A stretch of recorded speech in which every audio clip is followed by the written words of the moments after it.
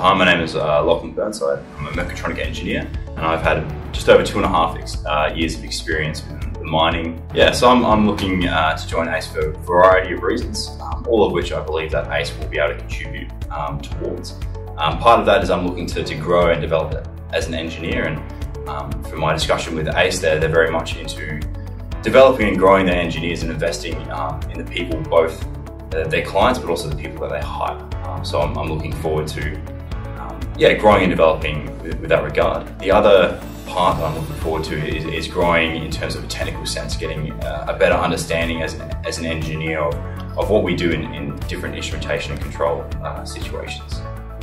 For the next five years, I'm really looking forward to um, really growing within my profession. Um, so being able to take a project right from its beginning all the way through to kind of its final completion, um, whatever kind of project comes my way, I really want to just be able to, to to grab it by the horns and, and have a full, complete understanding from um, from that project and to be able to give a proper technical response, but also um, to grow personally, but also help others grow and, and see areas in which they, they lack or which they're great at and really encourage them with their growth as an engineer.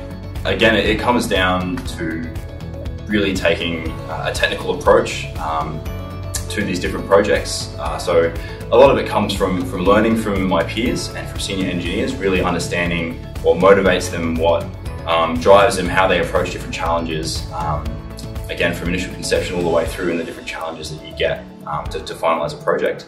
Um, so I guess it would be working hard to, to get that kind of technical experience, that different approach. As I grow, I, I hope to kind of bring people along with me to kind of uplift and help them grow. So um, as I become better adept to, to tackling different projects um, and growing, so so will the company I work for. So will the clients they'll have that that trust um, in me and, and with with, with Ace. Um, so yeah, re- really hoping to.